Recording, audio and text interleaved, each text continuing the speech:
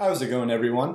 This is MedCat here, and today we're going to be going over four questions that I think it is essential that you ask anyone that you are considering to potentially be your MCAT tutor. So let's jump into the first one. You want to ask them, have you taken the MCAT in the past three years? Now there are a lot of MCAT tutors out there with really impressive letters after their name. I'm talking people with PhDs and masters in some of the subjects that the MCAT includes. Things like physics, organic chemistry, general chemistry, psychology, sociology, biology, biochemistry, or maybe even the humanities to help with the CARS section. However, if they haven't sat down with a real official MCAT or even an unofficial MCAT in the past three years themselves for that full seven hours, then you're going to be shortchanging yourself on choosing that person as an MCAT tutor because they're not going to have the same experience having taken the MCAT as someone who's taken it more recently. It's best practice in the MCAT tutoring industry, even if you're well out of undergraduate school, to take an MCAT at least once every three years, and ideally every year. So let's say there's a tutor out there that has a really impressive degree, but they haven't actually taken the MCAT in the past three years, you're probably better off looking for someone who has. Now that brings me to number two, because we also want to ask them, how many live hours have you tutored?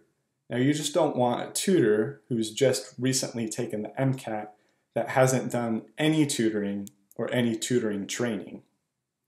Now, if they don't have any, that's probably fine, but you should recognize that you don't want to be paying someone who has no training and no live hours under their belt $100 an hour or even more than that. Sometimes you see ridiculous prices that people charge for MCAT tutoring, even though they have no experience other than getting a good score themselves. So remember this before you choose an MCAT tutor. Just because someone scored well does not mean they can teach you to score well as well. They need some experience and they need some training and some sort of teaching philosophy. Now, three is also an important question ask what was your official score? Because a lot of third party test prep companies, especially big ones like Kaplan, employ tutors with scores that wouldn't fly at a lot of other companies.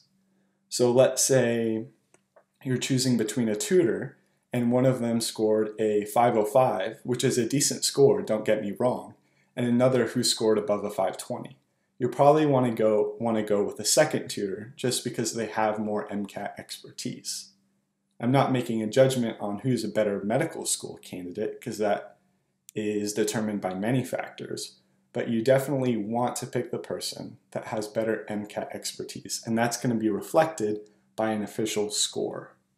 So now that we've gone over 1, 2, and 3, let's go to our final one, number 4. And this one's actually surprisingly rare. Have you received any MCAT teaching or training? So teaching or training.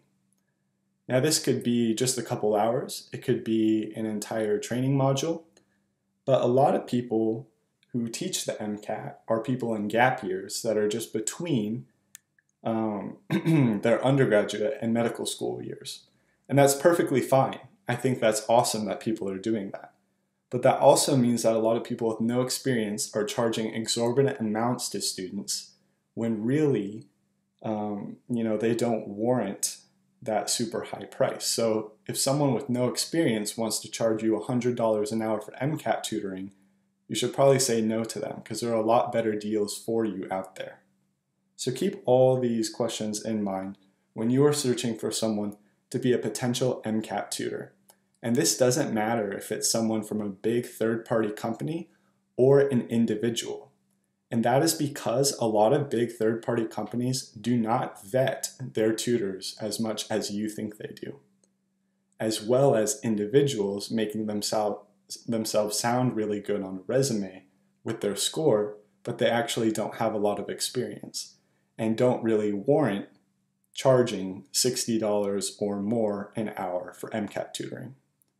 So remember to ask these four questions when you're considering someone to be an MCAT tutor. That's it for today's MedCat video.